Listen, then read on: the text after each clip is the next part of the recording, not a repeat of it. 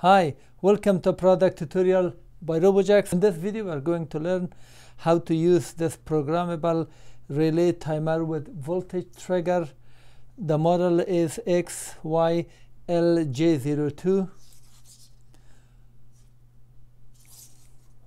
Let's get started with this.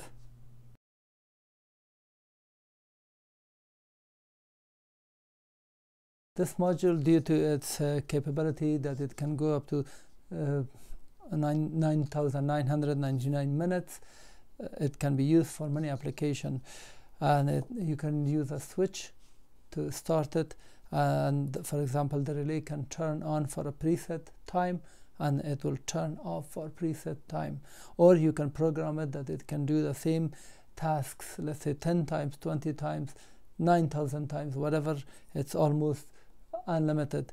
So you can set the relay to turn on turn off and also you can interrupt the process by switching here or maybe receiving signal from a charger from another device or a circuit.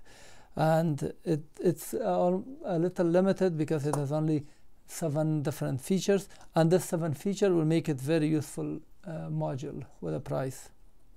I purchased this from AliExpress. As you can see it shows $6.60 I think I've purchased it a little higher with $2.29 shipping to Canada. Depending on your location, you might see different price. I'll provide the link for AliExpress in case if you want to purchase it. I have no affiliation with this store.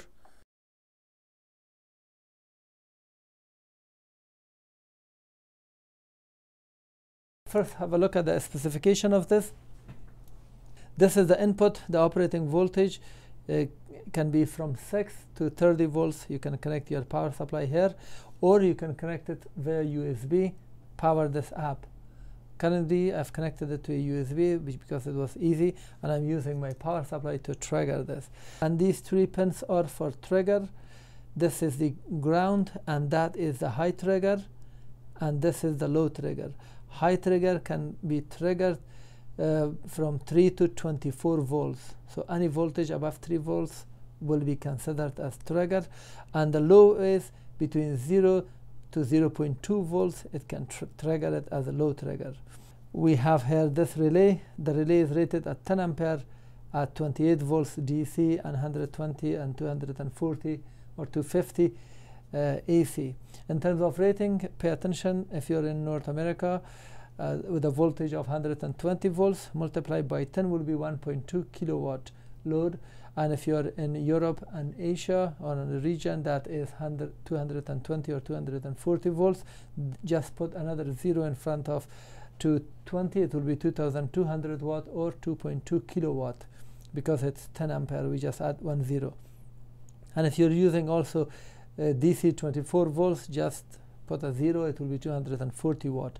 If you overload this the device will melt and uh, will be a hazard of fire. Terminals for the relay or this is normally closed and this is normally open and you will connect your two wires to the, these two terminals. Because this has an LED here I will not connect external connect external load. This light will tell me that the relay is on uh, or off and here we have four uh, buttons push buttons. This is stop this is set up and down up and down are intuitive. These are a little tricky which I'm going to explain. The pins have been labeled here as high high trigger ground and then low. I will be using it with high trigger. The trigger works the same for both cases.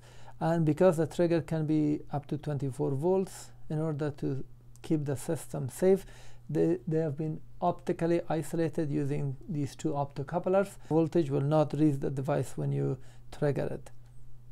And here we have a DC to DC converter here which converts the voltage to 5 volts. And the three pin here these two pins are these two pins are normally closed so this is the normally closed this is a common and this is normally open at this point, uh, you can see we have ground. This is labeled ground TX or RX. If we put three pins, this you can send commands using USB from computer and control and set this from computer from command line.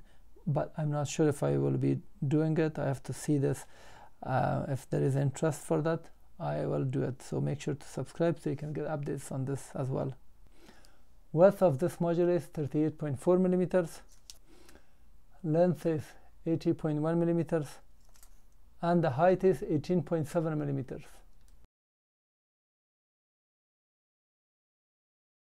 Uh, this is an example diagram for this XYLJ02 relay timer with display. And this is an example of an AC bulb. It can be any load AC or DC this is just an example one of the wire will go directly to the load the other wire must go through the relay to this pin to the middle and from this point where it is normally open you will put another wire here to your load. And when this relay energizes these two wires will be connected and your load will be turned on. On this side these two terminals plus minus I have also labeled them here negative and positive. You can connect this to a 6 to 24 volts internally this will convert the voltage to 5 volts so this system and display and all of these will work with 5 volts. And I'm using a push button switch to trigger it. From this negative a green wire you can see is connected to this point. From these three pin the middle one is negative. And from the positive it goes to the switch. When you push the switch the signal will come to this point and it will trigger and if you need to do the negative trigger this is the negative trigger. Instead of connecting it to positive connect it to the negative and that will be a negative trigger. If you're if you're trying to trigger this using an external source for example if you're trying from external source not this push button then this will be your negative and this will be your positive. Disconnect this and disconnect this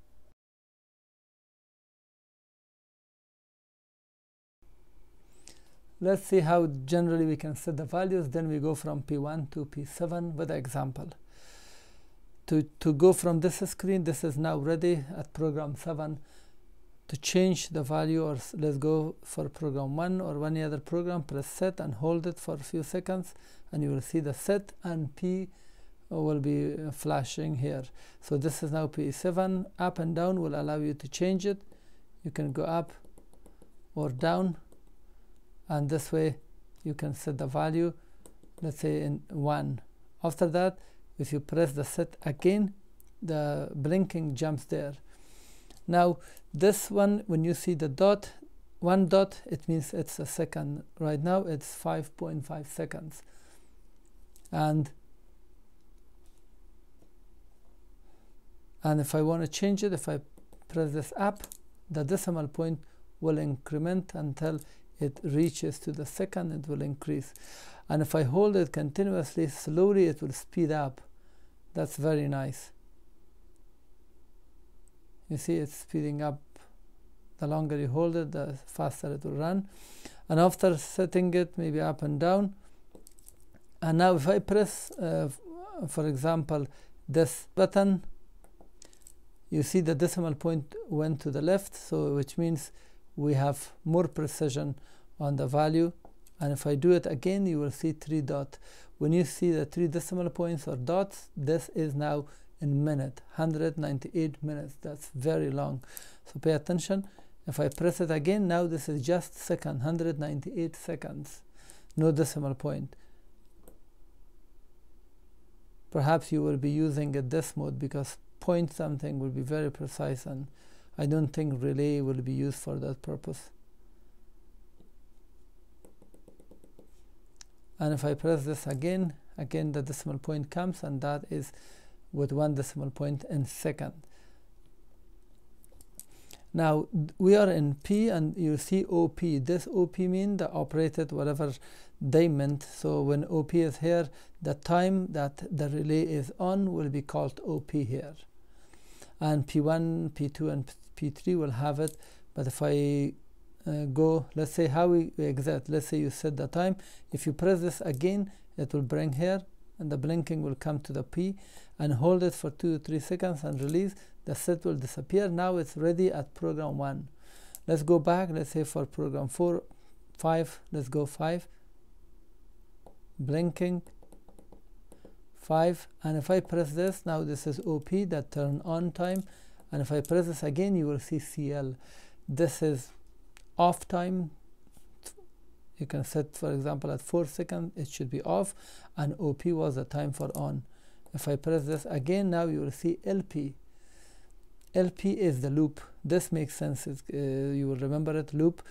Now 2 means this will do the task of turning on at OP time and turning off the relay at CL time twice.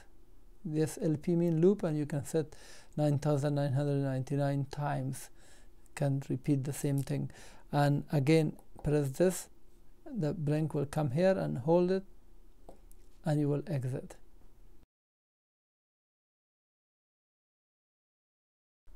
Now let's uh, start with P1 press and hold it for about 3 seconds and release. You will see the set. Now this is blinking. Go with down or up.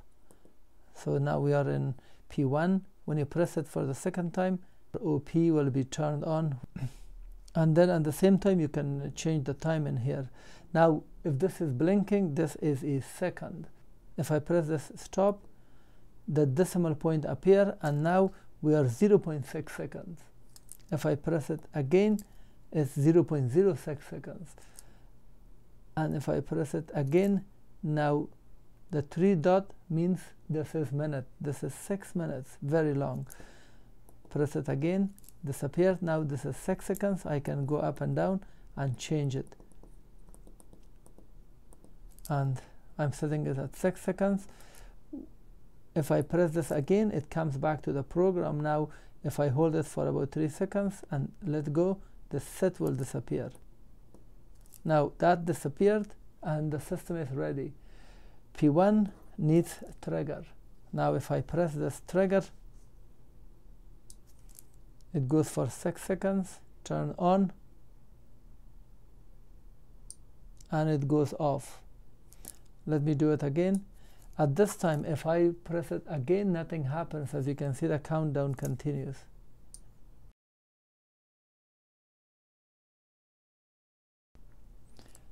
Let's go for P2 hold it. And now press up. Now it's P2 press this again. This is the timing. You can change the time. Again we are in OP up and down. Nothing else will come. So set the time. Let's say this is 6 seconds. Come here and press it and hold it for 3 seconds. Now it is set on program. This is exactly the same as before but with a little difference. When I press it the relay is on now your load is on. After 6 seconds it will turn on. But here is the difference. When the program is running if you press this the time will reset. You see? Uh, every time you press it it goes reset. So this is P2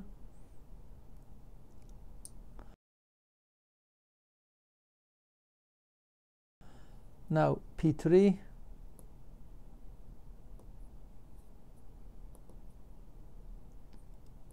go and set the time. Of course I can send 5.6 seconds for example let me do it. And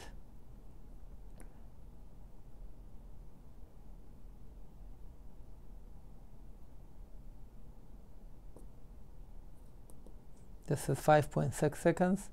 Again it's OP when I press it it comes here. Hold and release. Now P3 5.6 seconds it goes down. The load is on. Now it's off. Now let's see what is the effect of switch. Anytime if I press it will just turn off. When you press the trigger or the signal comes it's just resetting. For example this is now running. It will just turn it off. So this was P3 now let's go for P4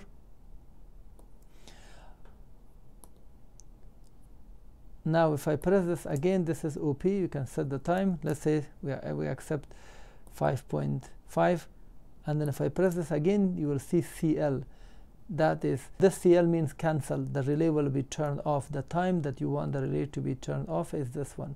Now we can change the time. I'm leaving it at 4 and if I press it again it comes here. Press and let go.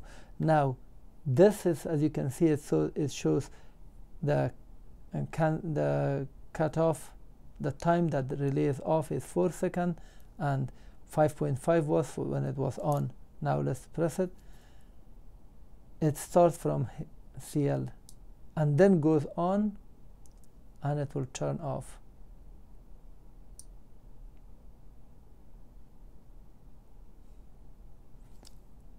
And if I at the moment it is running if I press this it has no effect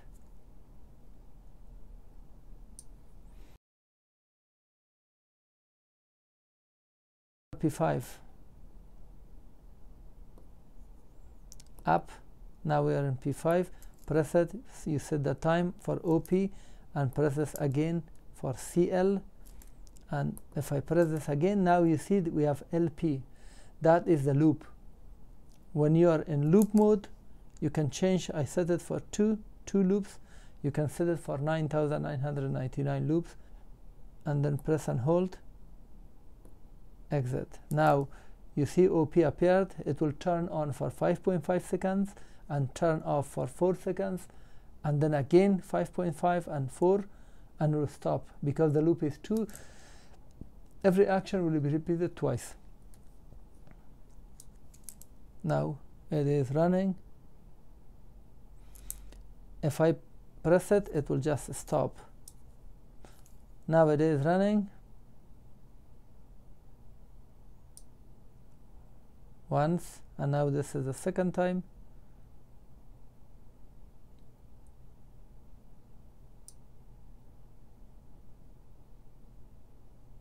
And stop.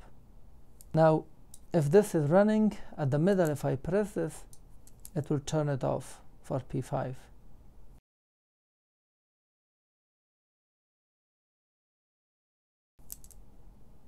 let's go for P6 this is the on time. This is the off time CL 4 seconds. I'm not changing it but if you wish you can change it. And then again we have loop 2 so it will go if it will do the same thing twice. And then hold and exit. Now this time this does not have any effect. As soon as the power is on it will go and do the on time and then off time and it will stop after two loops.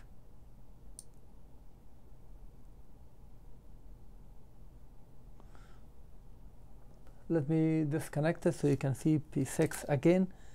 Now this is disconnected. As soon as I connect it will be 5.5 on 4 off and 5.5 on and 4 off and it will stop twice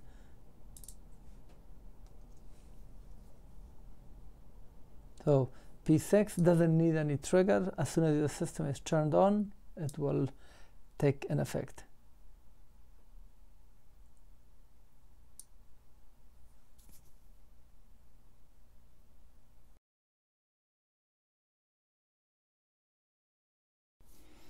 Now let's go for P7. This is P7. 5.5, let's leave it like that. And as you can see, there is no CL, just OP. Exit. Now pay attention here. This is different. If I trigger it, you will see that it looks like just P2 but the difference is this this is triggered at uh, falling edge which means when you turn on the switch it will not affect. When you release it will affect. Let, let's see. You see? Now it's blinking. It means the signal is there. It's just waiting. 5.5 is not counting down. If I release it then it will start. And that's it. Thank you for watching. This was how to use this XY LJ02 timer relay with display. If you like this video and learned something, please thumb up. If you have comment or question, please post it at the comment section below.